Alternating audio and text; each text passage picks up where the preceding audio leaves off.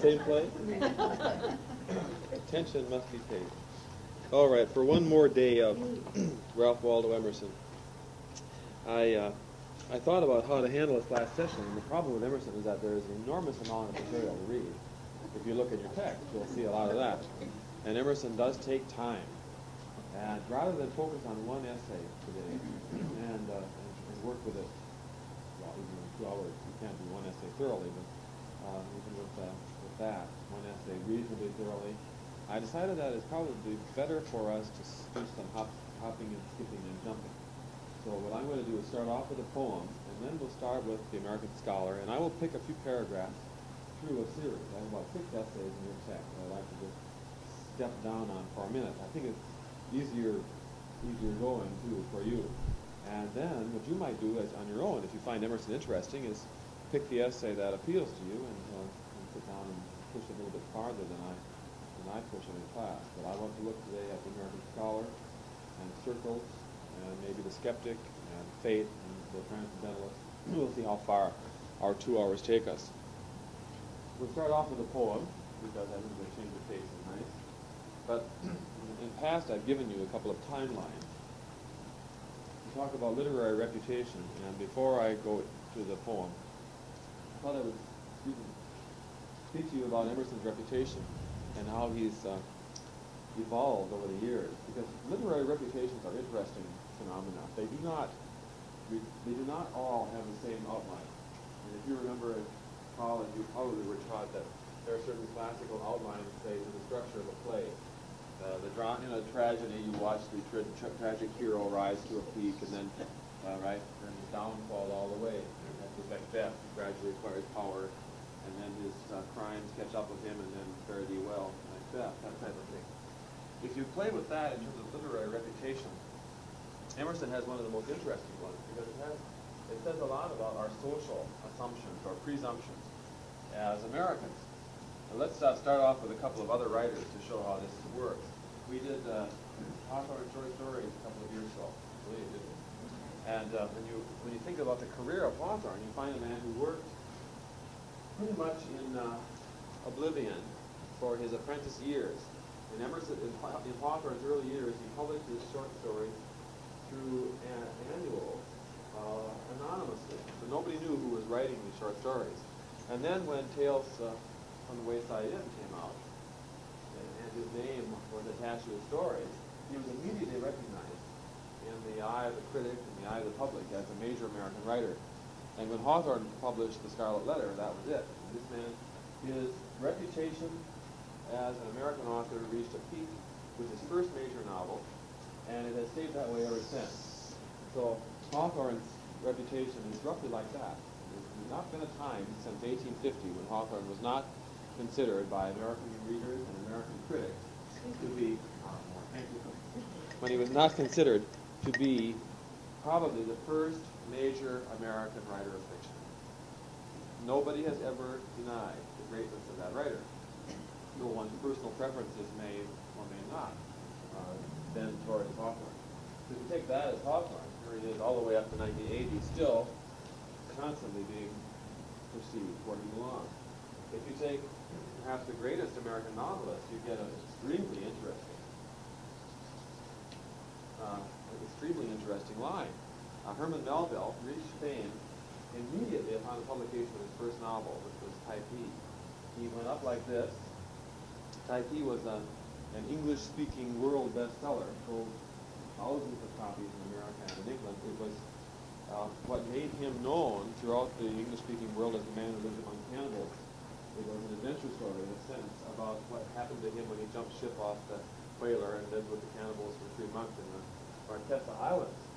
And with every novel Melville wrote, his uh, audience dropped they wanted him to write adventure stories, and Melville did not want to write adventure stories. He wanted to write Moby Dick, as you know, and nobody wanted to read Moby Dick.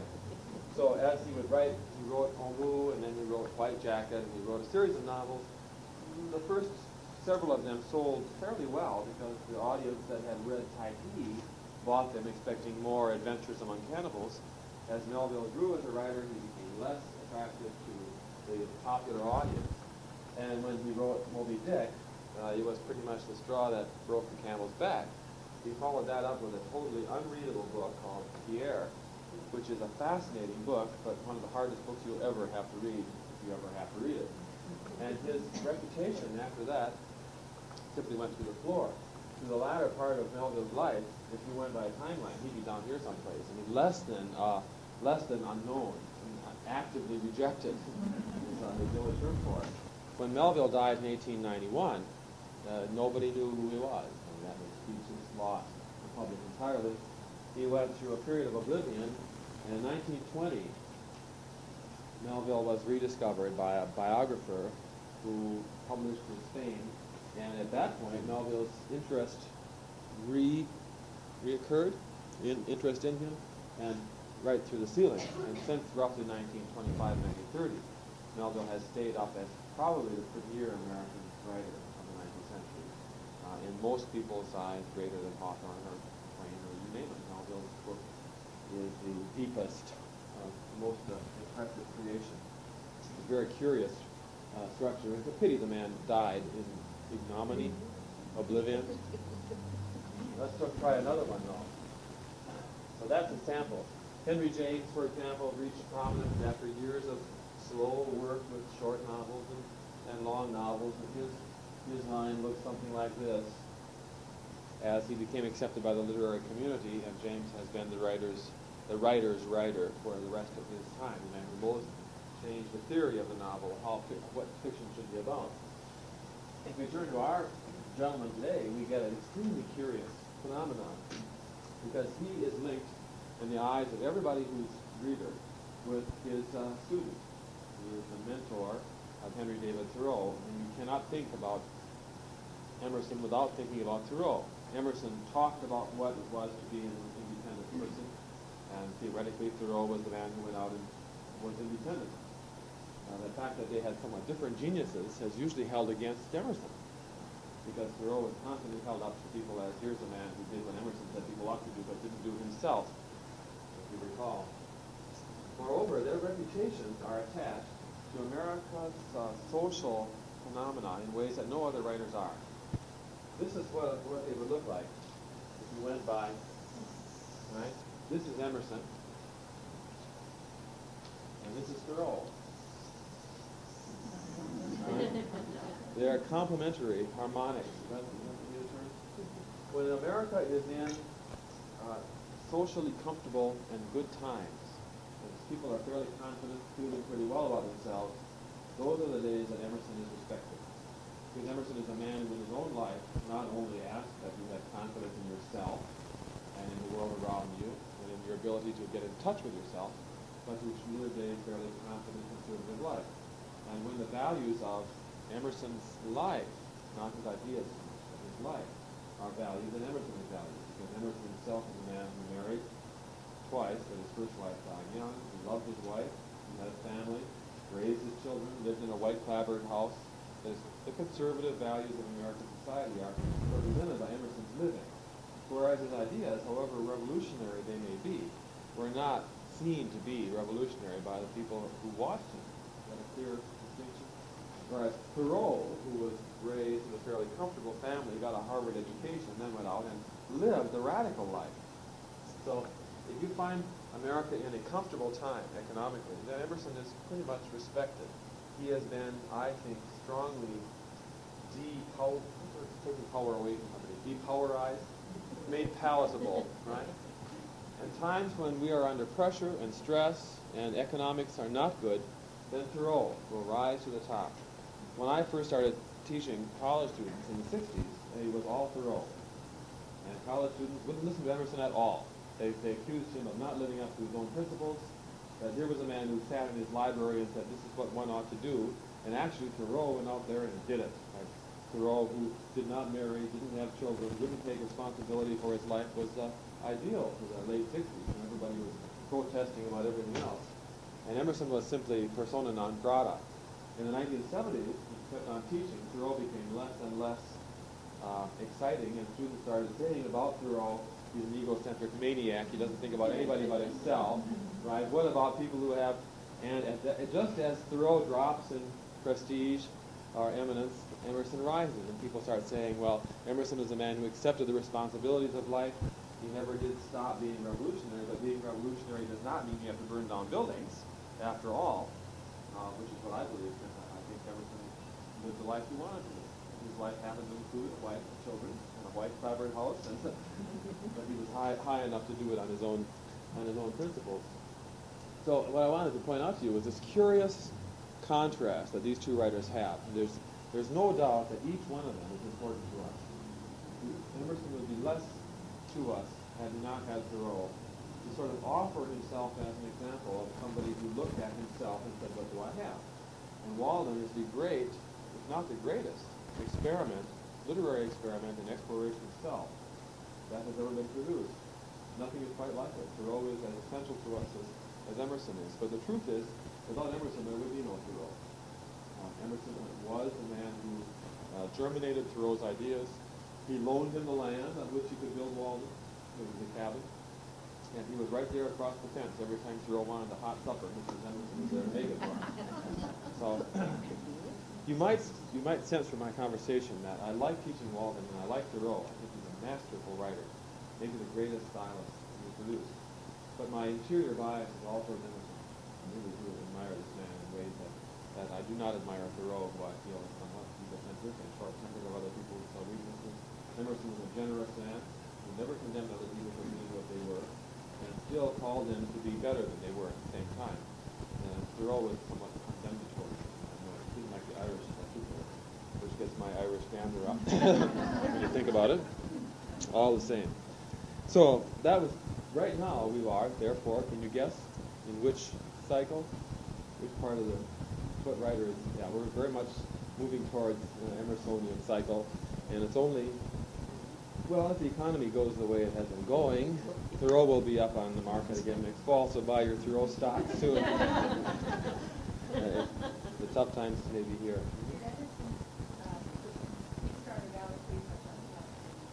Yes, he was highly respected, but suspicious.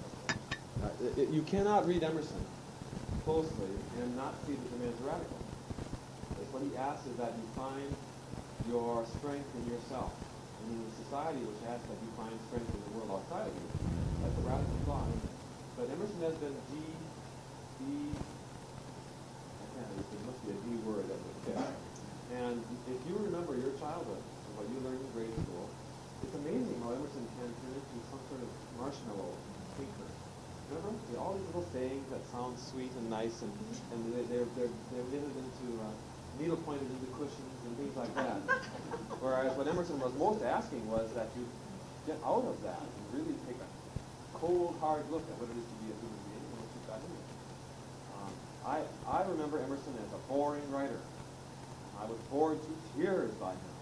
And it's only teaching him that made me realize this man is, is so unboring. There's hardly, hardly anybody who's less boring than he is. Because he shakes things up all the time, consciously asks us to, to look at ourselves and what are the reasons for our actions. But, uh, yeah. I think there's something there that reminds me that it's a little bit far-fetched, but you'd almost have existential to some way, we know. Uh, transcendental. is the Um, word. you know. Yeah. E- Existential in the sense that Emerson asked us, as the Romantics do. I mean, the existential philosophical stance is a product of the Romantic period. You cannot be an existentialist before 1797, not in English, uh, because the existentialist is the person who examines itself. So there is to be an I, capital I. Uh, and there are consequences, Emerson.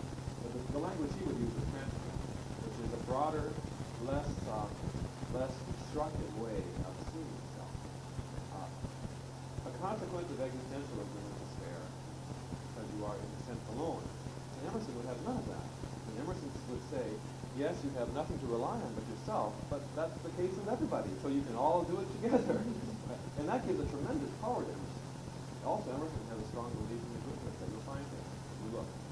I know a student, I have a student right now who hates himself. And it's a hard message to send to somebody, hey, look inside yourself and find something worth, worth leaning on. When that person looks inside himself and sees nothing but a terrible, evil hole that can fall into.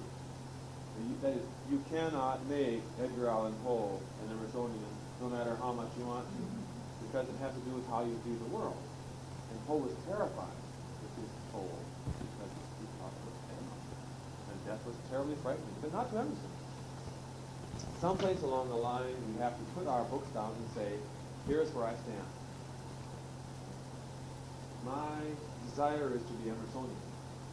My philosophical stance is to be more Melvillian. I like Melville's complexity of perception. I like the marvelous argument of Ishmael and Moby Dick, which recognizes in a way that I don't think Emerson does, the turmoil and tempestuousness. You've read Moby Dick. Do you remember the passage where he's taught, they've gone into the whales. He's been dragged in the middle of the whales that are being attacked on the outside by the, uh, whalers. And so he's dragged in, and he finds that here they are, trapped in the middle. It, it, I think it's the high point of 19th century American literature when Ishmael says this. He comes in and he sees young whales are making love, and the babies are there, and the mother whales are feeding or nursing their pups or whatever you call baby whales. And he's and Ishmael thinks he's the great thinker about what it is to be human, and he says this this is life. And life is terror and turmoil out here where all these whales are being harpooned. But if you get through to the interior, right, he says, I have inside me a great lake or, or center of peace and joy. And that the secret to living is keeping someplace inside of you a refusal, we call it peace or joy, but a refusal to say, this is life. In here. See, Melville, for me, recognizes much more uh, vividly the difficulties of life than Emerson does. And today I want to show you how Emerson does make an effort to do that. My suspicion is that he doesn't really get it inside, and, and, Melville does. And that's why, in the end, I would be a Melvillian. His life is harder than Emerson thought. But he recognized that it was hard. I wish I were Emersonian. But, Emersonian is not as Emersonian as you, Emerson is not as Emersonian as you were taught. That is, more, and so later on this hour, after break, we'll come to Fate. And he says, hey, limitation is life. You start out saying, I can do anything that you want. Bread, sky, stars, you name it. And growing up is realizing that no, every one of my sophomores thinks he's going to become president of the United States. Life is realizing that all is what Mark Twain turned, turned Mark Twain into, into cynicism and, uh, and misery. Life is an endless closing of doors. Is it not? All those things you might have been and did not become. Now, how do you respond to it? I wish I were Emerson. I hope you all are. My own sense is I'd like to try over once more, but life says you're not trying over to get one shot at this gold ring. And most of us saw it go by long ago. Right? So, it's a, it's a curious and interesting intellectual stance. Emerson is not closed, but he's also a man who really does believe that we can make the best of it, and I like that, and that's why I like teaching Emerson, because he reminds me of strengths that I would like to rely on. Let's look at a, a poem here before we go back to the prose. Turn to page 426, Uriel. Here you get a sense of what Emerson opposes and what he believes in. This is a myth about, excuse me, the angels. Uriel is a, an angel who gets a uh, bad insight into truth. And one of Emerson's uh, pleasures was twitching orthodoxy. Or used to like to stick the needle in, in uh, 19th century images of God, so forth. It fell in ancient periods, which the brooding soul surveys, or ever the wild time coined itself into calendar months and days. You start, there once, once upon a time is what that stanza says. And what it means is that this occurrence happened long before the world had organized itself into 30, 365 days a year, 12 months, uh, 52 weeks, all of that business. This is pre-time, in other words, before God said what there be light. This was the lapse of Uriel, which in paradise befell once among the Pleiades walking. The Pleiades are seven stars in the sky, and the angels up there walking. Sade, that is the poet, overheard the young gods talking, and the treason too long pent. To his ears was evident. The young deities discussed laws of form, and nature just, orb, quintessence, and sunbeams, what subsisteth and what seems. Here are these angels. They're going about, and what they're doing, in essence, is talking about the laws of nature. God has created nature with all these laws, the laws of gravity, the laws of uh, action and reaction. And the angels are going about, and they're like good, obedient servants to God. They're saying, my, aren't these laws wonderful? Isn't it nice that God made these laws of nature for everything to work properly together? Laws are just great. They give us structure and order, makes us understand the sequence of time, you name it. But there's one angel who doesn't care for order per se. One, in other words, with low tones that decide and doubt and reverent use define. With a look that solved the sphere and stirred the devils everywhere, gave his sentiment divine against the being of a line. One angel says, I don't like lines. I don't like straight things. Line in nature is not found. Unit and universe are round. But reading a little bit in circles later on. Emerson believes strongly in the circle as a central image of unifying life. Not division, but unity. And what this angel is saying is that in nature you don't get stuff like this. This is a this is a mind creation. Nothing is straight in nature. The one thing you might get in nature is circularity, repetition. In vain produced, all rays return. Evil will bless. Nice. You always have to stop with Emerson to ask hard questions about. This is, this is especially interesting because it's only in post uh, post uh, Einsteinian physics that we understand that this is true. You produce a line, like the line of sunlight, a beam. In the Emerson's day, the idea was that that went straight. A line, that was, that was, is it Newtonian physics? Wham. But this angel is saying, no, it always comes back. And in fact, that's true, isn't it? I mean, scientists know today that that the line that divides or that shoots out always, even in terms of light, creates. And the theory, I think, in astronomy is that the universe itself is curved, isn't it? And if you went straight up into the universe, you come back to where you were. It's a closed system, in a sense. Emerson knew this uh, years ago. Unit and universe are wrong. We don't need all these astronomers. Emerson told me. In vain produced all rays return. Evil will bless, and ice will burn. Can you guess what that means then? Emerson is talking, speaking against dogmatic distinctions. He doesn't believe that you can divide everything into good and bad, into white and black, into tall and short. The desire of the mind to, to disorganize things neatly. Oh, that act is a good act. No, there's no way of knowing. I mean, in the long run, after 300 years, it may turn out that Nixon was a blessing. It's hard to see it now, but we don't know the consequences of that. Ice can burn. It's all relative, isn't it? If you take ice, 32 degrees, as your standard, and you set that up against boiling, it's awful cold. But if you set it up against perfect zero, 450 degrees below zero, it's terribly hot. You see Emerson's point? It, it, it is how you see something that establishes its its meaning. And if you think I've got everything nicely organized so that uh, what are the truths? The first one is evil is evil and never does any good, and cold is cold and never gets hot, then you're just limiting your perception of things so greatly that you'll never understand the reality of life at all. And bad, bad deeds do often result in good. Good deeds result in bad. Hot can be cold, cold can be hot. You can get burned by carbon dioxide, can't you?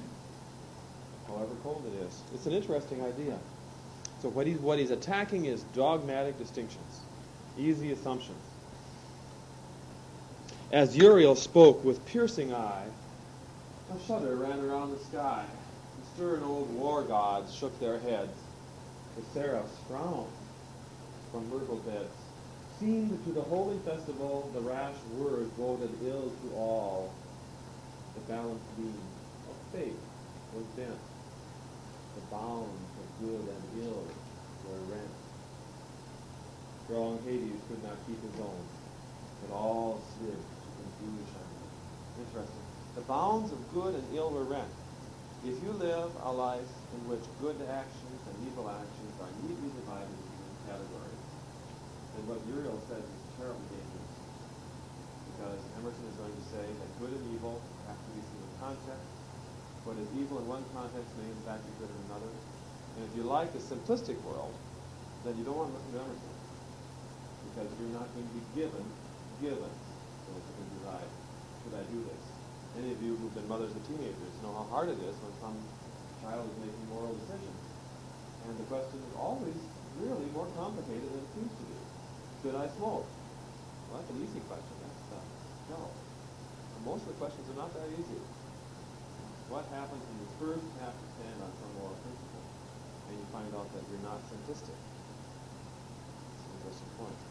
It's so bad, Emerson says, that Hades itself gives up its bid. I mean, it's life and death. Why would a person be in Hades? Well, why not? The ability to say go to heaven and go to hell disappears in this sort of relativistic uh, universe. A sad self-knowledge, withering, fell on the beauty of Uriel. In heaven, once eminent, the god withdrew that hour into his cloud, whether doomed to gyration, to long gyration in the sea of generation, or by knowledge grown too bright to hit the nerve of feebler sight. Straightway, a forgetting wind wind stole over the celestial kind, and their lips the secret kept within ashes, fire, sea, sun. What does God do to solve this problem? Uriel is sent away, he's hidden, and then God goes over all the angels who've heard this very upsetting news. Forget it. You didn't hear what you just heard.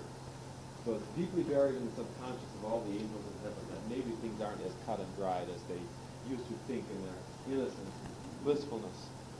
But now and then, truth-speaking things shame the angel's veiling wings.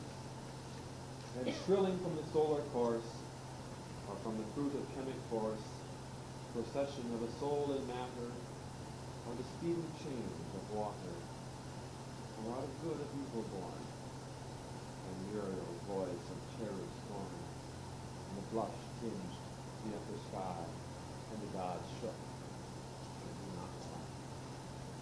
But Emerson is saying here that life is actually consistently going to give us clues that maybe things aren't as simple as we would like them to be.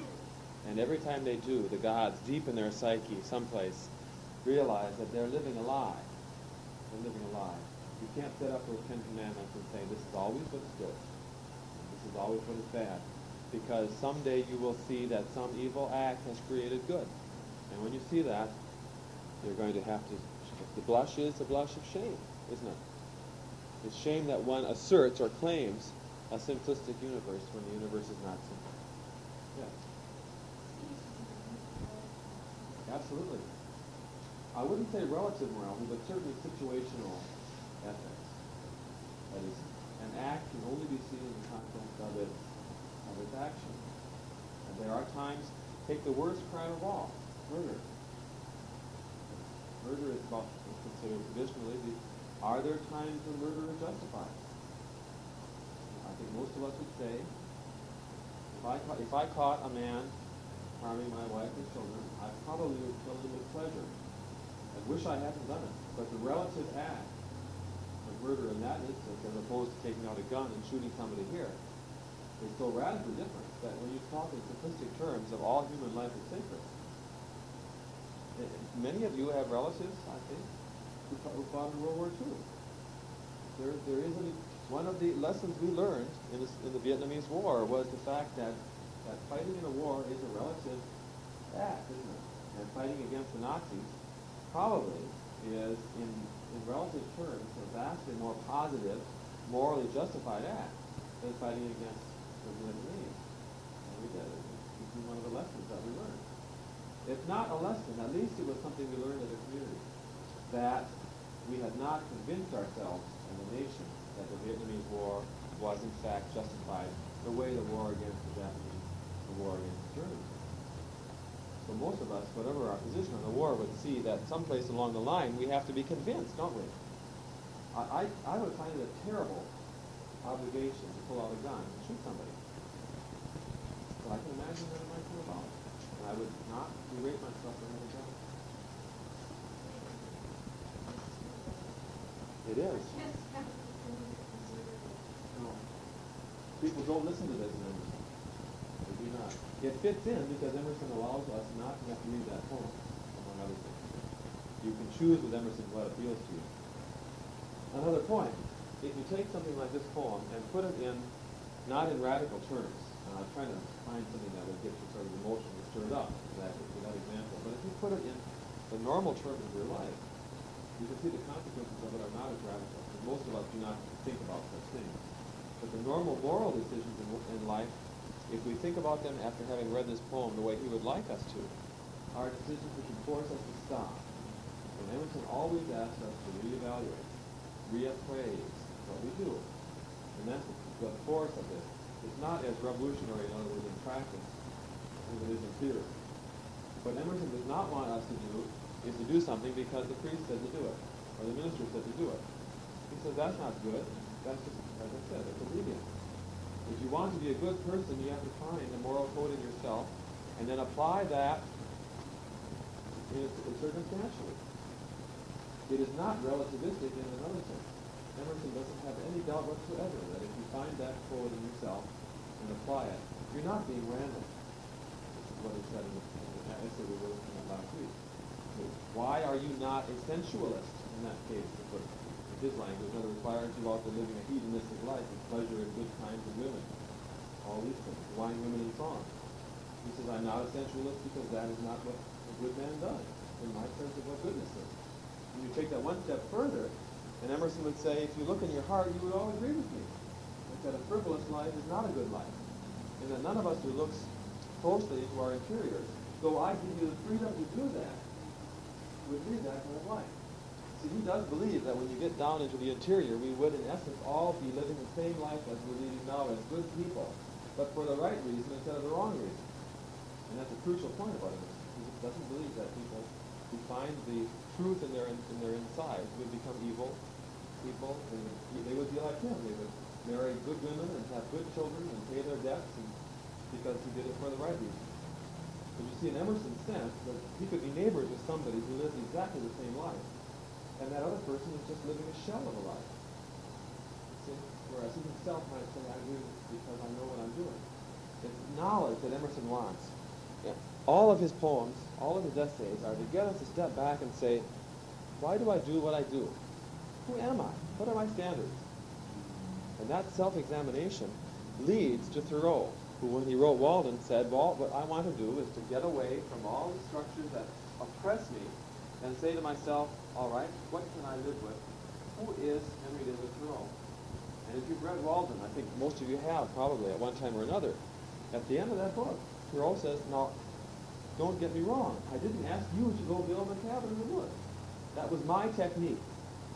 But go and build your own woods, metaphorically, and find out who you are. And if you find out right, as Emerson believed, you'd be in accord with Emerson in such things.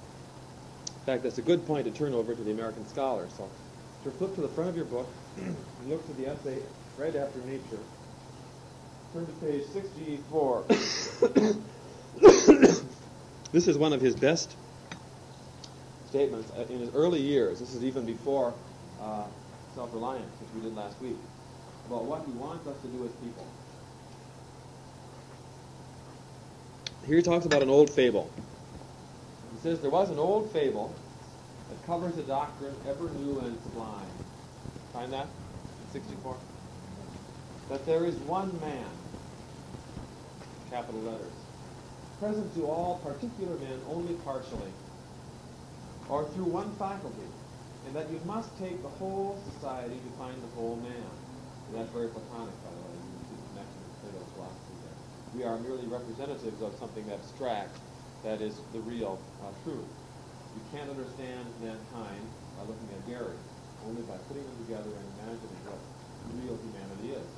He says that what we do is live partial lives of necessity. What we do then, not of necessity, but of failure to perceive, is define ourselves by our partiality. What we are as unique people. Man is not a farmer, or a professor, or an engineer. Is all. In the divided or social state, these functions are parceled out to individuals, each of whom aims to do his stint of the joint work, while each other performs his. The fable implies that the individual, to possess himself, must sometimes return from his own labor to embrace all the other laborers. But unfortunately, his original unit, this fountain of power, has been so distributed to multitudes, has been so minutely subdivided and parceled out, peddled out, that it is spilled into drops and cannot be gathered. The state of society is one in which the members have suffered amputation from the trunk and strut about so many walking monsters, a good finger, a neck, stomach, an elbow, but never a man. Do you see the point? We tend to define ourselves, well, what are you? Uh, if I'm teaching students, I say, ah, you are a high school sophomore. Obviously, we know what you are, a sophomore. Yeah, you are a college senior. Very good. I am a teacher. I am a professor. And the languages, as soon as you put the words on, they create preconceptions, don't they? What are you? I am a retired person. Ah, senile. Now we know. they come with they come with all this bag and baggage. And as long as we allow those words to define ourselves, we become, as he says, a portion, a finger. I'm a finger because I, uh, there's a good stomach over there. The, only way to be human is to, is never to allow our, our duties, our roles, to become ourselves totally, be defined by ourselves. Man is thus metamorphosed into a thing, into many things. The planter, who is man sent out into the field to gather food, is seldom cheered by any idea of the true dignity of his mastery. He sees his bushel and his cart and nothing beyond, and sinks into the farmer instead of man on the farm. Now, he's using man. We know, we know it means it's humanity, a human being on the farm. If you call yourself farmer instead of a human being who farms, you are by definition limiting yourself to a role, and you won't even be able to use the language to understand what it is to be human. You are always human first, is what Emerson says. And then whatever else you are. And you're a variety of things, aren't you? Grandmother, mother, teacher, you name it. All those things, but always a human being first. It's a very human-oriented philosophy, as you can see. The tradesman scarcely ever gives an ideal worth to his work, but is ridden by the routine of his craft, and the, sub, the soul is subject to dollars. The priest becomes a form, the attorney a statute book, the mechanic a machine, a rope, a sailor a rope of a ship. In this distinction of functions, the scholar is the delegated intellect. In the right state, he is man thinking.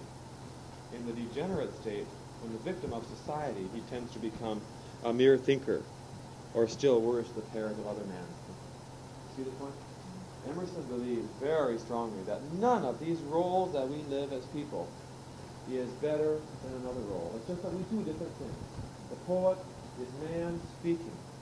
The scholar is man thinking. But the farmer is man growing food. So whatever your role is, it's an important part. You are all brothers in terms of your humanity. And he says most of us live lives in which we denigrate ourselves and limit ourselves, and until we start thinking of ourselves as human beings surviving in whatever role I've been given as my gift, we can't respect each other properly or understand our own value, our own worth. There is no intrinsic superiority in a position over a man who's paving the streets. You need them both. And a, and a, and a physician is just a plumber of the body, right? It's a technician. A plumber of the, of the sink is, is more important than a physician when your toilet stopped up. Right? You hear what he's saying? It's a marvelous elevation of getting rid of the, of intrinsic superiority. Oh, I am really important because I have gone to so many years of school, and you are merely a tradesman. If you start respecting other people's humanity, Emerson says, you will be respecting yourself.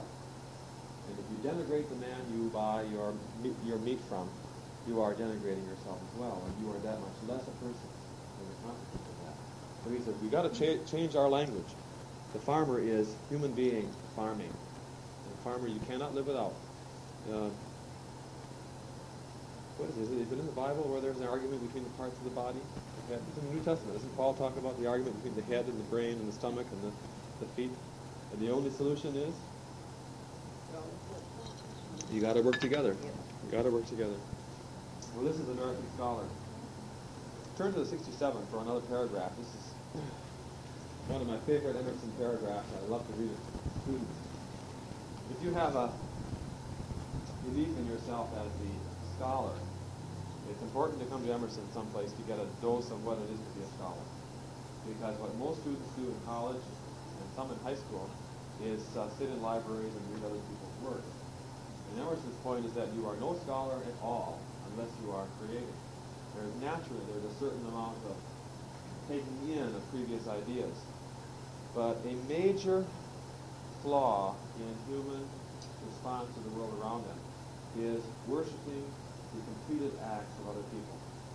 And Emerson says, be careful, because Shakespeare can enfeeble you. If you read Shakespeare, Milton, I'm doing Chaucer right now with my seniors. Chaucer, and you, you come to something like King Lear, and you have aspirations to create yourself, and your response is, right? And what's the use of what is the use of writing? I can't possibly do it. Then you're misreading Shakespeare entirely. He says the only reason to read great works is not for the artifact, the product, but to get near the act of creation. It's coming near creativity that makes that makes Shakespeare important because when he wrote, he was being creative, and that's to spur you to be. That we all, excuse me, in Emerson's eyes, have access to creative, creative uh, ideas. So here's Emerson on the scholar. Each age, the end of the previous paragraph, it is found must write its own books, page 67. Or rather, each generation for the next succeeding. The books of an older period will not fit this. You cannot stop creating because everything has been done. Yet hence arises a great mischief.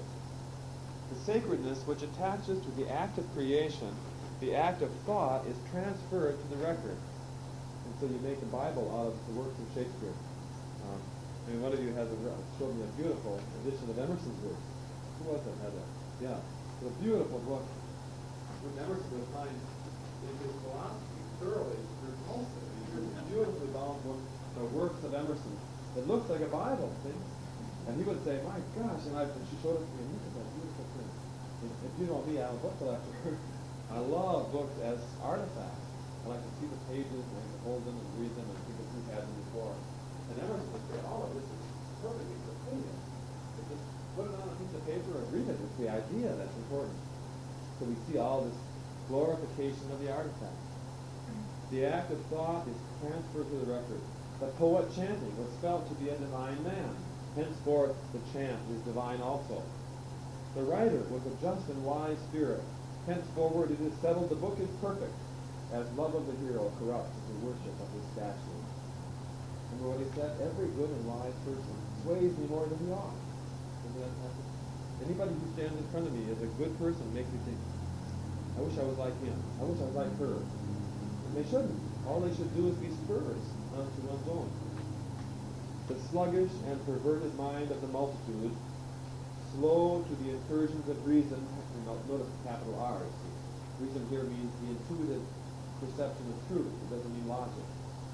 Slow to the encourage, incursions of reason, having once so opened, having once received this book, stands upon it and makes an outcry if it is disparaged. You get the public to finally understand Hamlet, and, and it took them centuries to understand it. As soon as they love it, boy, that's it. That's the Bible. You say a word against Hamlet, and you might as well be like having aspersions on Christ. They take it to their souls. Colleges are built on it. Books are written on it by thinkers, not by man thinking. There's, there's, there's a big difference. By men of talent, that is, who start wrong, who set out from accepted dogmas, not from their own sight of principles. I always look for any word that gives vision. Not from seeing themselves, but from taking somebody else's dogmas. Meek young men grow up in libraries, believing it their duty to accept the views which Cicero, which Locke, which Bacon have given, forgetful that Cicero, Locke, and Bacon were only young men in libraries when they wrote those books. if, if Cicero and Locke and Bacon had done what we do, we wouldn't have their works because they'd have spent the whole time in the UW library reading other people's works, reading Thomas Aquinas and Milton and Shakespeare. The only way you get creation is to create, and if you use books for any other purpose,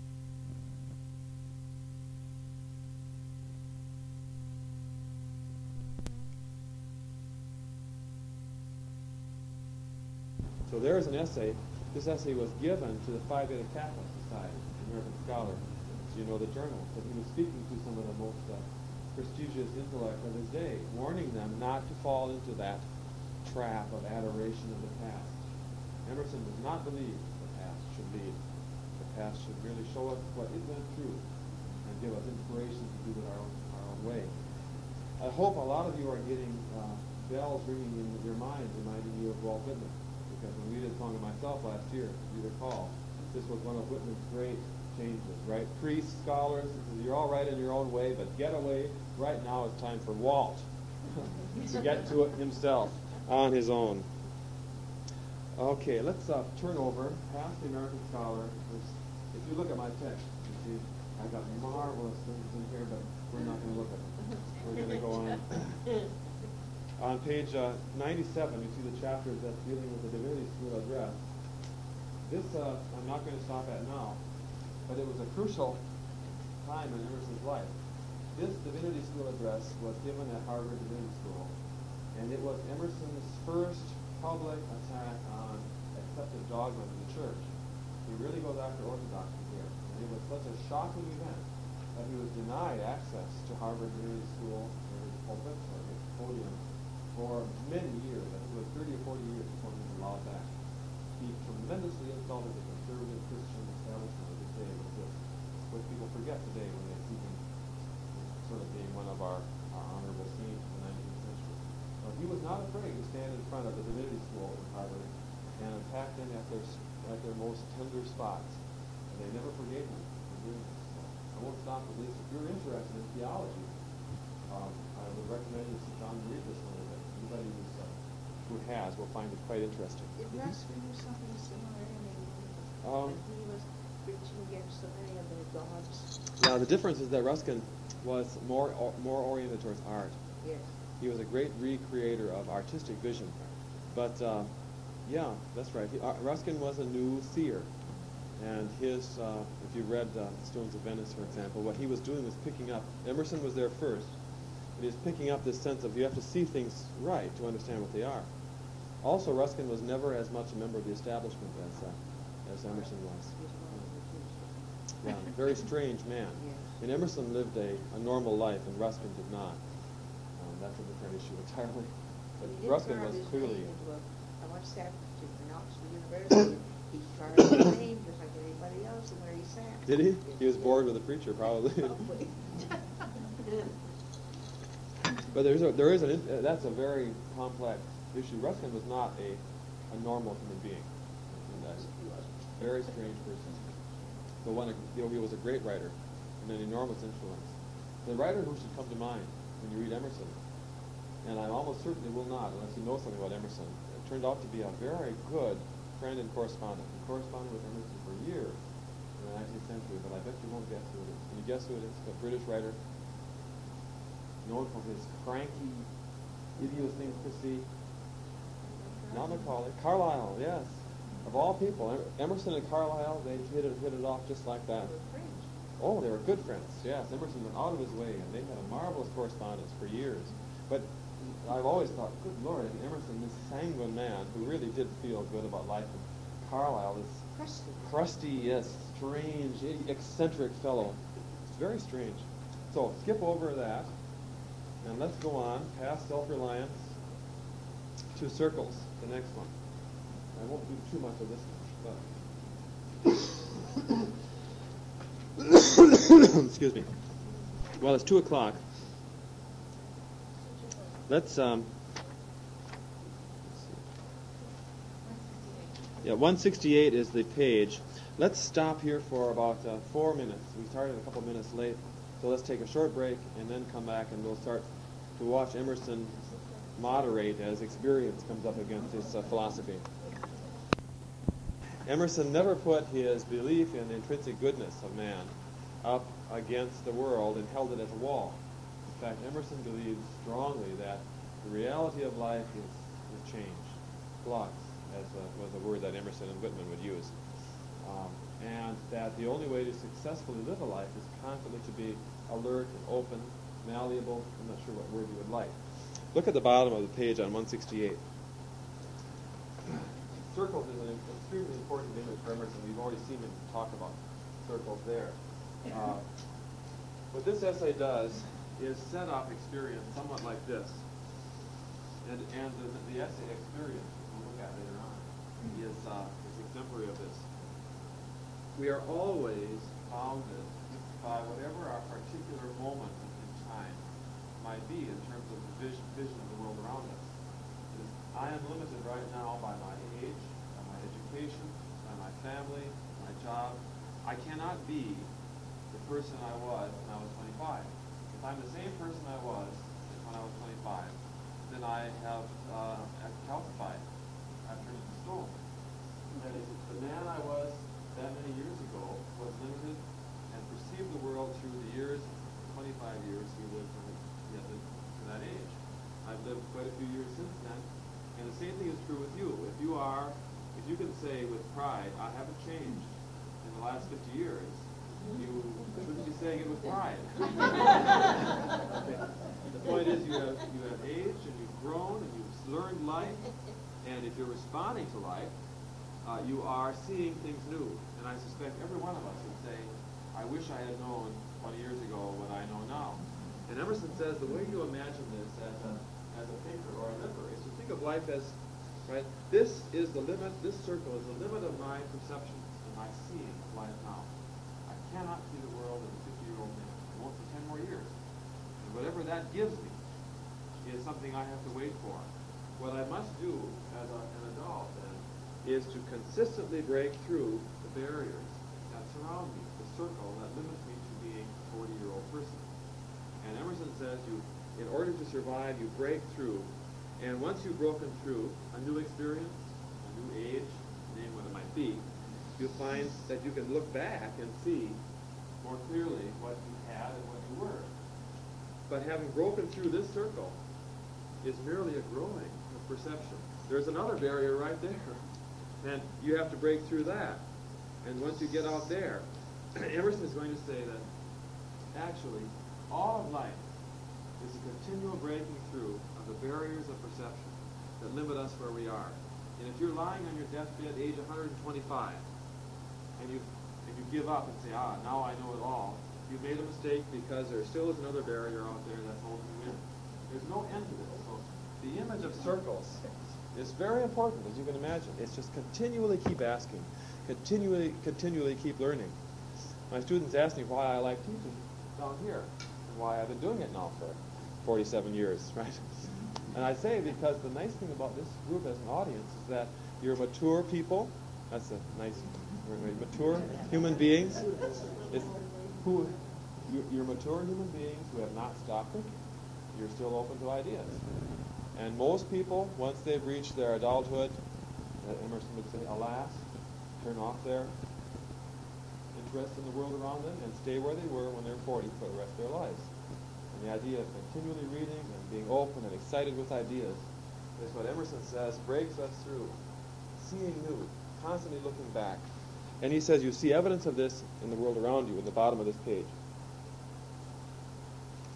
There are no fixtures in nature. That takes you back to Uriel, see. Of course, what we, what we and as narrow people want to do is to fix things nice, organize them, put them in slots.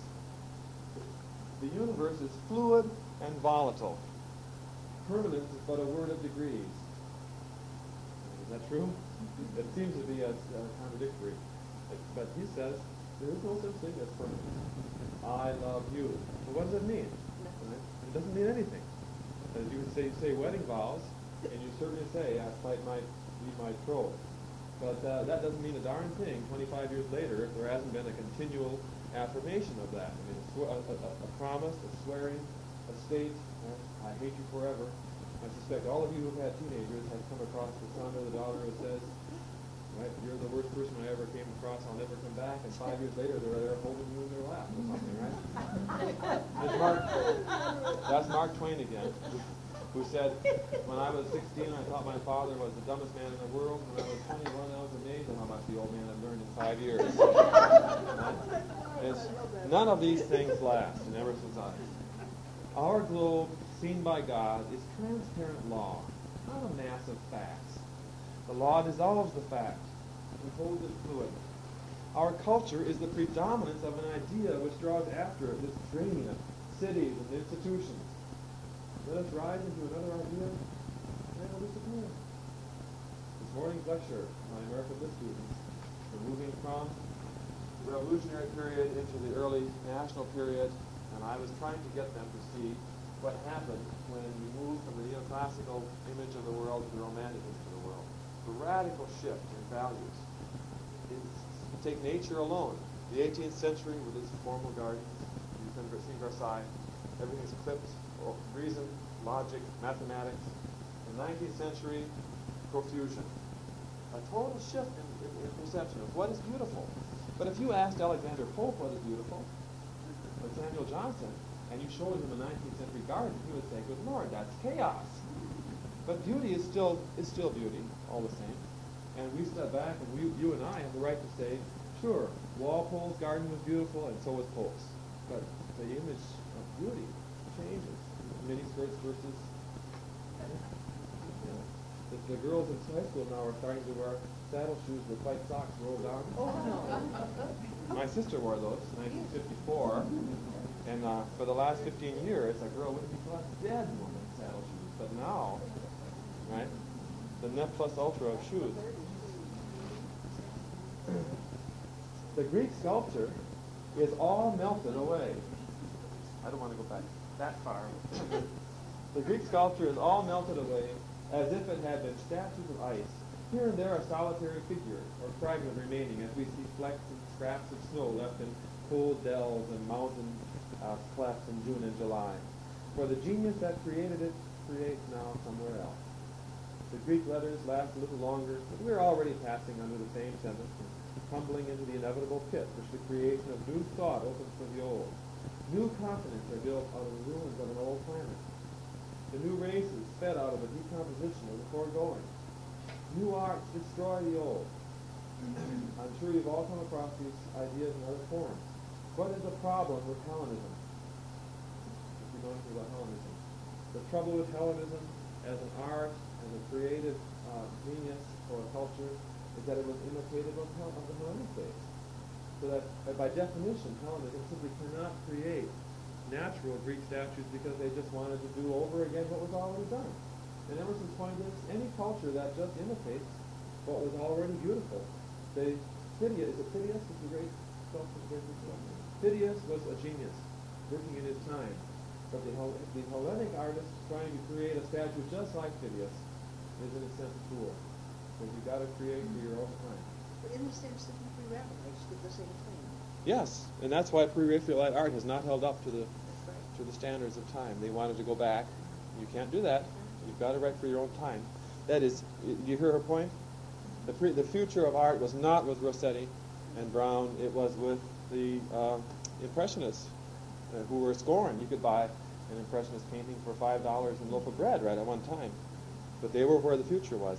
The trouble is, how do you find the future as it's being born? Okay, let's go on. You admire this tower of granite, weathering the hurts of so many ages. Yet, a little waving hand built this huge wall, and that which builds is better than that which is built. There's Ruskin. The Gothic cathedrals are wonderful, not because those cathedrals are beautiful to see, but because they represent a spirit in an age where ordinary working people created as part of their ordinary life. The masons and sculptors who made Notre Dame. Notre Dame is wonderful because of what made it, not because it's there in, in prison. Yeah. The hand that builds can topple it down much faster. Better than the hand, and nimbler was the invisible thought which wrought through it. And thus ever behind the coarse effect is a fine cause, which being narrowly seen is the effect of a finer cause. Everything looks permanent until its sequel is known. Truth to that. Permanence is a word of degrees.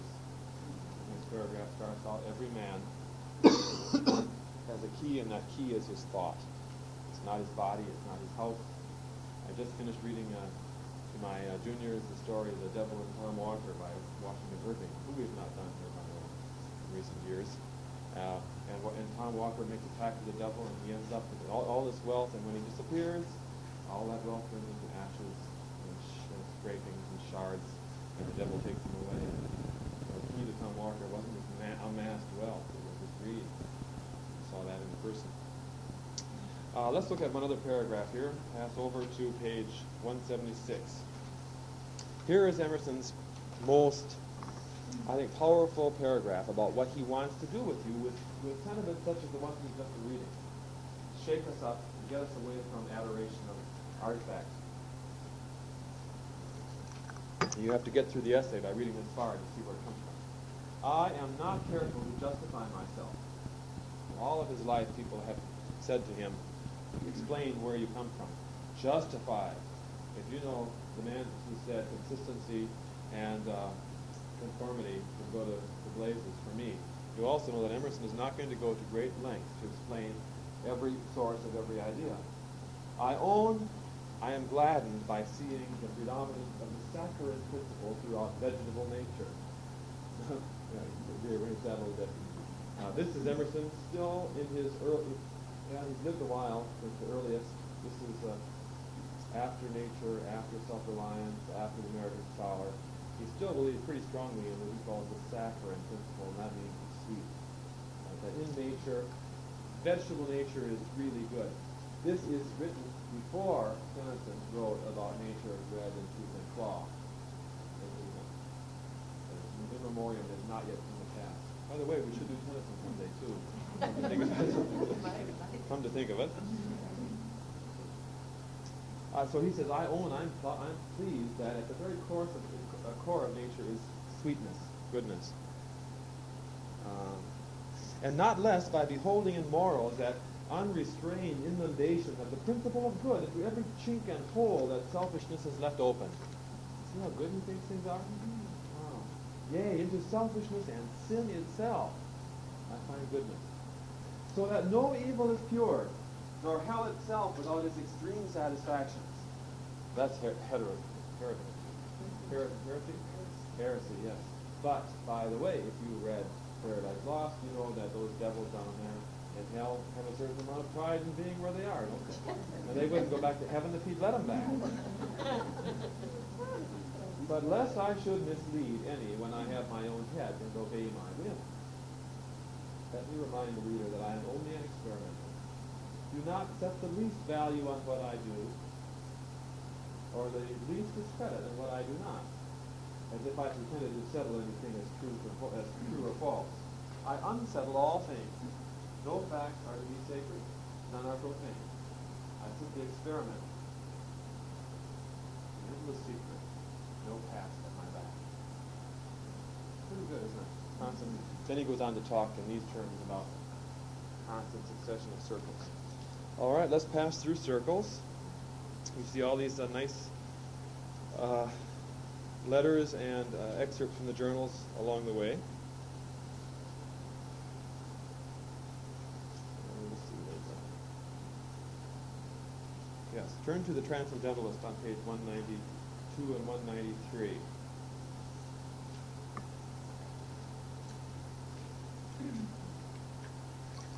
This is an essay that is quite important for anyone who wants to understand what this famous term actually means. It's, here, it's in this essay that Emerson puts down and speaks in terms of what transcendentalism and idealism means as opposed to materialism.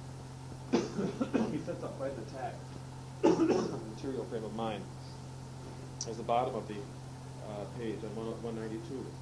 He says, as thinkers, mankind have ever divided into two sects, materialists and idealists. Well, you don't have to guess what side of that fence Emerson is on. He's a transcendentalist, and transcendentalists are by nature, by code, idealists. The first class founding on experience, the second on consciousness. Consciousness means what you go through, what comes to you through your mind, through your insight. It's not reason. It doesn't pick on reason. But material is what you get with your exterior experience. Ideal is what comes to through your, through your sense. The second class the first class, beginning to think from the data of the senses, the second class perceive that the senses are not final and say, the senses give us representations of things, but they are not things themselves, they cannot tell. I am not this body sitting am and Gary is something that you cannot find by looking at his, body, or his job, or his life. There's something crucially inside you that makes you special for a Christian Go down to the middle of that page. Oh, the, the middle of that paragraph, I guess. These two modes of thinking are both natural, but the idealist contends that his way of thinking is entire nature. Every materialist will be an idealist, but an idealist can never go backwards to be a materialist. The Point, if you start out as a materialist, the natural experience you have with things will make you an idealist eventually. Emerson believes that that's the only way you can go on the road. And the hardest core Marxist who believes in materialism will have to ultimately go through facts. Think about the meaning of facts, and that destroys materialism. But you can't go backwards. Can't start off being an idealist and find yourself satisfied with things and their simplicity. The idealist, speaking of events, sees them as spirits. He does not deny the sensuous fact, by no means, but he will not see that alone. He does not deny the presence of this table, this chair, and the walls of this room, but he looks at these things as the reverse side of the tapestry, as the other end, each being a sequel or completion of a spiritual fact which nearly concerns him. Nearly means closely, almost. That is all that these chairs are, this floor, you people are to me, is a representation of a, of a spiritual truth which is very, very important to me. It's, it's near to me in its meaning. This manner of looking at things transfers every object in nature from an independent and anomalous position without there into the consciousness. It brings it in. Even the materialist, Condillac, perhaps the most logical expounder of materialism, was constrained to say, though we should soar into the heavens, though we should sink into the abyss, we never go out of ourselves. It is always our own thought that we perceive. What more could an idealist say? The materialist, secure in the certainty of sensation, mocks at fine spun theories like stargazers and dreamers, and believes that his life is solid, that he at least takes nothing for granted, but knows where he stands and what he does. Yet how easy it is to show him that he also is a phantom, walking and working amid phantoms, and that he need only ask a question or two beyond his daily questions to find his solid universe growing dim and impalpable before his sense. The sturdy capitalist, no matter how deep and square on blocks of quincy granite. He lays the foundations of his banking house or exchange. Must set it, at last, not on a cube corresponding to the angles of the structure, but on a mass of unknown material and solidity, red hot, or white hot, perhaps at the core, which rounds off to an almost perfect spherity that lies floating in soft air and goes spinning away, dragging bank and banker with it at a rate of thousands of miles the hour, he knows not whither. See the point? I love, I love that passage. He says the most conservative Republican banker in the world who builds his bank of Quincy granite, Quincy, Massachusetts, we're talking about here. That is the strongest, you know, put your money in my bank. He says that banker does not put his blocks of granite on his perfectly formed, structured, solid. He puts that bank, he says, on a mass of unknown materials and solidity, red hot or white hot. Marvelous image. You're building your bank on the top of uh, Mount St. Helens, if you think you've got solidity, at any moment, and then this marvelous image of, of the earth spinning, he says, at the core, which rounds off to almost perfect spherity and floats in soft air and goes spinning away, bank and banker. but life is nowhere near as uh, stable as you think it is. And the people up on the Toutle River found that out, didn't they? But they just pass it on. Takes you right back to the poem I read two weeks ago. And he talks about the farmers who own this land. Right? Ah, this is my land. And I've got lawyers who tied it up in, in my will so it will go on forever in my family. Earth laughs and flowers to see her boy proud of the earth and he is now. Same thing here. It goes spinning away, dragging bank and banker with it at a rate of thousands of miles the hour, he knows not whither. A bit of bullet, now glimmering, now darkling through a small cubic space on the edge of an, an unimaginable pit of emptiness. And this wild balloon, this marvelous writing, by the way. You start off with one quick block of Quincy granite, and at the end of the sentence, you're, you're at the very edge of the universe, aren't you? In the midst of emptiness how he turns the man's pride into his material object into nothingness in the sky. And he, then he talks about the earth as a balloon. Put a pin in it, bam. In which his whole venture is embarked. It's just a while, it's just a symbol of his whole state and faculty. One thing at least is certain. He says is certain, and does not give me the headache that figures do not lie. The multiplication table has hitherto found unimpeachable proof. And moreover, if I put a gold eagle in my safe, I find it again tomorrow. These are, for these thoughts, I know not whence they are. They change and pass away. They ask him why he believes that an uniform experience will continue uniform, or on what grounds his faith in his figures, and he will perceive that his mental fabric is built up on dust and strain, on faith and his proud is. Very nice paragraph. The point, he says, if you talk to a banker, and the banker says, well, I know one thing, and that is 2 plus 2 is 4, and if I take this silver dollar and put it in my safe, I will find it there in the morning. Well, who can argue with that? Okay. But if you ask that banker, what do you think these ideas? What do these ideas mean? What's the structure in your mind that gives value to 2 plus 2 is 4, or I'll find my silver dollar in the bank in the morning? Is as soon as you ask a question to get him away from that metal fact, it, it'll just crumble, crumble right away. Because every banker knows if you think all unstable, this is Tom Walker's gold turns into chips of wood and it's all over. You can't take it with you, as they used to say. Or going to the going to the Bible, moss and rust, rust corrupt. Okay. Save it how much you may, but if you're wrong on the inside, then the trouble lasts. So that's a piece of the Transcendentalist. Turn to 207. you remember the you remember the uh, elegy on his son, Waldo? Here is Emerson's thinking on this as Waldo dies from his journal, January 28, 207.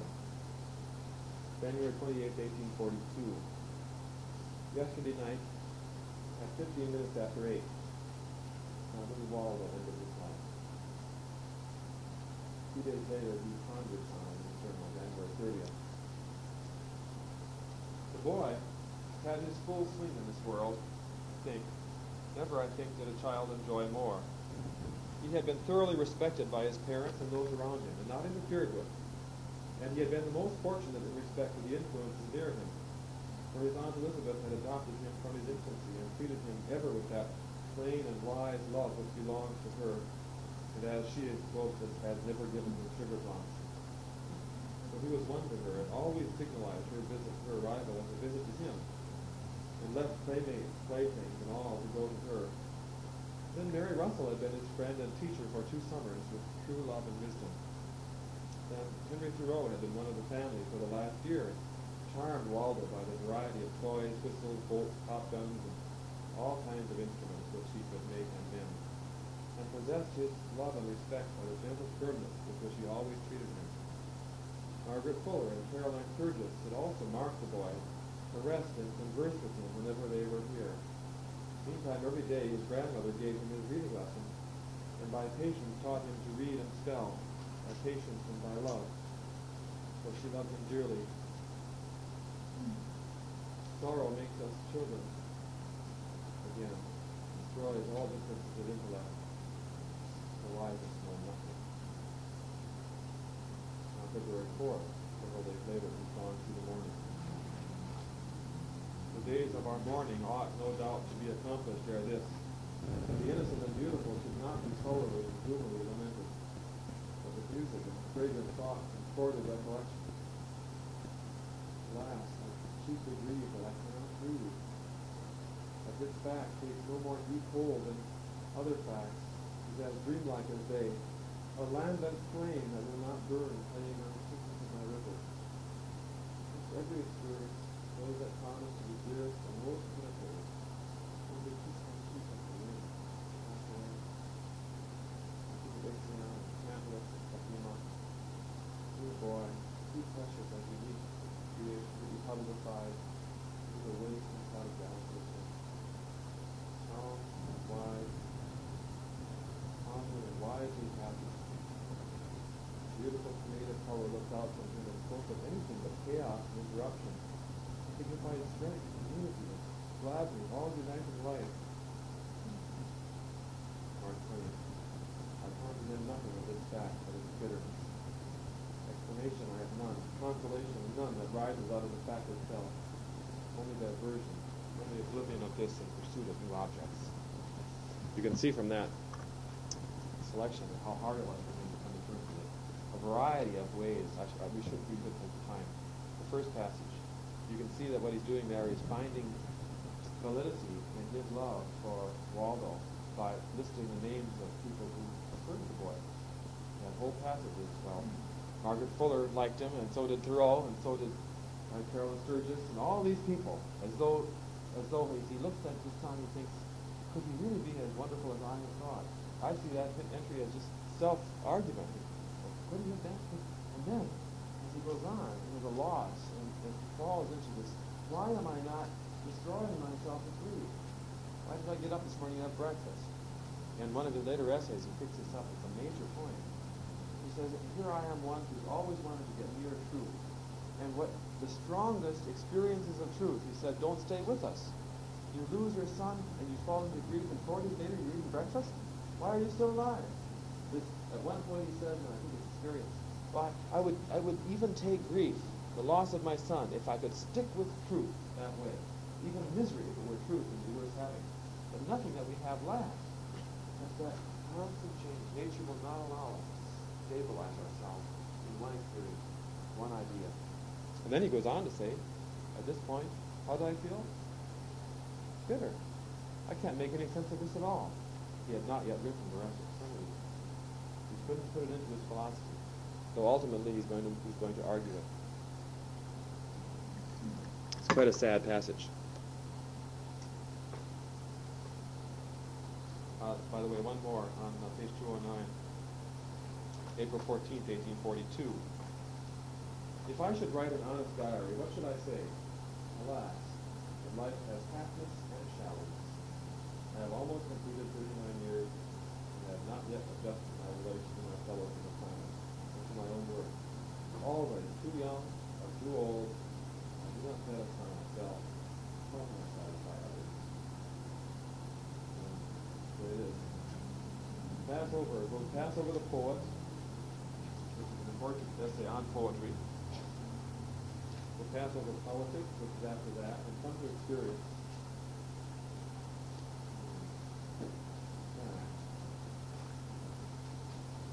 Let's go all the way over to Fate and then come back to experience. Turn to page 330.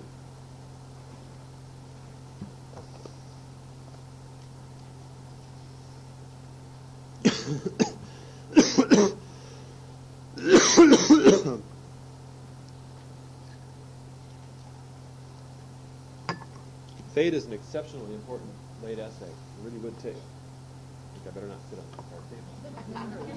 it really would be uh, worthwhile if the down and read it true. through. It's one of his best later explorations of the limitations of life. And this essay is, in fact, about perceiving limitations. And the essay we're going to go back to in a few minutes, uh, Experience, is another one of the same type. This is the result of having lived some years and having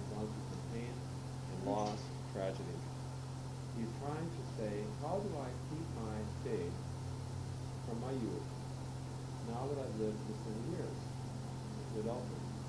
It should bring memories in your mind of the end of Trinity. When he talks about being old and not being able to create, but keeping the Fate and confidence that the end of this is worth the, is worth the voyage. So here he is looking at himself faith. Halfway through the first paragraph. To me, the question of the times resolved itself into a practical question of the conduct of life. He's an idealist who says, the problem we have is okay. It's practical. But how do we live through life? That's a practical issue. How shall I live? We are incompetent to solve the times. And words like incompetent appear in you know he's. Our geometry cannot span the huge orbits of the prevailing ideas, behold their return, and reconcile their opposition. We can only obey our own polarity. It's fine for us to speculate and elect our course if we must accept an irresistible dictation. Our first steps to gain our wishes, in our first steps to gain our wishes, we come upon immovable limitation. You hear the soberness of that? See, when you're 17, the world's your oyster. Is the old phrase. Anything can happen. Uh, when you're 18, by the time you're a senior, you're trying to realize that you're going to make choices. But young people, my son, to choose two words to describe himself at his uh, T-shirt uh, this fall, uh, one of those two words he chose was perfect. it's a kind of, I thought I was a Calvinist. I think I must not be. Um, but at the age of 10, and he's 10 years old, and uh, as we were saying before lunch, uh, in Giselle, a 10-year-old boy is the perfect boy.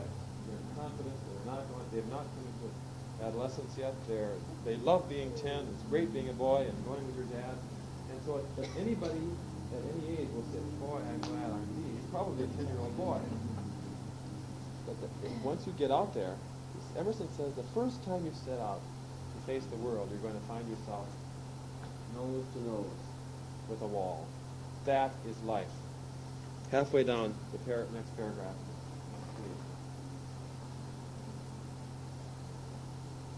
We are sure that though we know not how, necessity does import liberty. There are things we must be, must do. And that's the challenge of being an adult. You cannot be a uh, runner if you've only got one leg. You can't be a father if you're a mother, if you're a woman. You, cannot be a poet if you can't speak. You cannot be a dish if you're a weakling. Whatever it is, constantly up against reality and by limitation. In other words, adulthood is constant frustration for him and for us. The individual with the world, my polarity with the spirit of the times. The riddle of the age has for each a private solution. If one would study his own time, it must be by this method of taking up in turn each of the leading topics which belong to our scheme of human life, and by firmly stating all that is agreeable to experience on one and doing the same justice to the opposing fact in the others, the true limitations will appear. Let us state honestly the fact. Our America has a bad name for superficialness. By the way, it's getting truer and truer. The uh, Civil War was coming on shortly. Turn over the next page, 332. Before this time, Emerson would say, look at nature and remember the word the saccharine traits, how even vegetable nature is sweet. By the time he comes to say it, he's, he's not going to be saying that. Nature is no sentimentalist. Now he said, this is 1852 uh, in memoriam, which is one of the benchmarks of Victorian literature, is 1850. This idea of nature read into the thought. It's not easy. We're seeing nature in a new light. It's not just this present Rousseauistic universe where innocent people romp around with tigers in paradise. No. Um, nature is no sentimentalist. It does not cosset or pamper us. We must see that the world is rough and surly. It will not mind drowning a man or woman, but swallows your ship like a grain of dust. Now that's something for everyone to see.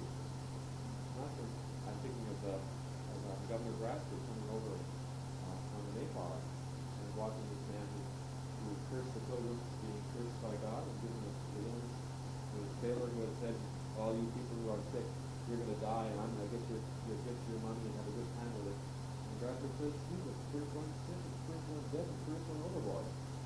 God did that. You're, you're God's providence. Uh-uh. Not now. Nature is just accident. And if you get caught in the middle of the Atlantic Ocean without a life preserver, God's not going to do anything about it. Nature will help you down or the ship or nature is not sentimental about these things. The cold, inconsiderate of persons, tingles your blood, benumbs your feet, freezes a man like an apple. You want to say, in terms of justice, it should not be this way. When I got up this morning, I had straight bites from the car, and I only had thin gloves. And say, God, this is Gary, you're freezing my hand. Know. Sorry. Sorry. The diseases, the elements, fortune, gravity, lightning, respect no person. The way of providence is a little rude. Little I'd like a little more courtesy here by way of providence. The habit of snake and spider, the snap of the tiger and other leapers and bloody jumpers, the crackle of the bones of his prey in the coil of the anaconda. These are in the system. And our habits are like theirs. We have just dined. And however scrupulously the slaughterhouse is concealed in a graceful distance of miles, there is simplicity, expensive races, race living at the expense of race. Very point. We are not free. We do not like to think of the cute little furry animal being crunched by the python. And everything says, my dear young man, my dear young lady, that steak you today was bumped in the head uh, and slit maybe alive in our last week in the slaughterhouse on the television RH. Right? What do we do as human beings? We, put, we draw those curtains into the unpleasant fact before the steak can come. But the fact is, nature says, eat or be eaten. And we participate in that. You see, he's still doing the same, it's the same process, which is look at nature to see what you are. But now Emerson has shifted that, that prism, this is radically shifting it, so that we see that we participate in all of this. Most of us do not like to think about slaughterhouses at all. Suppose some of you like me. I was raised in a town that had a packing plant. And uh, all through childhood, you could smell Drummond's, smell Armour's. And you could hear the cows every time you went to high school. You smell that Drummond. And people always just, oh, couldn't stand it. As I got on and reading Emerson, I always thought, maybe every town should have you know, a packing plant. Just because now, when you go by Armour's, it's all mechanized frozen meat. It might as well be a church. I know that there's something in there being turned into luncheon meat. The planet is liable to shocks from comets, perturbations from planets, rending from earthquake and volcano, alterations of climate, precessions of equinoxes. Rivers dry up by opening of the forest. The sea changes its bed. Towns and counties fall into it. At Lisbon, an earthquake killed men like flies. That was one of the major natural experiences of the 18th century. You know what great work came out of the earthquake? A French writer? Uh, you heard of Candide by Voltaire? The book Candide came from the experience of the, the Lisbon earthquake. It is not the best of all possible worlds. Not if you're in, the, in Lisbon when the earthquake is happening. It's a good business. At Naples, three years ago, 10,000 persons were crushed in a few minutes. The scurvy at sea, the sword of the climate in the west of Africa, at Cayenne, at Panama, in New Orleans, cut off men like a massacre. Our western prairie shakes with fever and ague, the cholera, the smallpox. Well, we go on, this. So it's a wonderful paragraph. He- He's giving us as much shock of truth as we can take, at the beginning of it.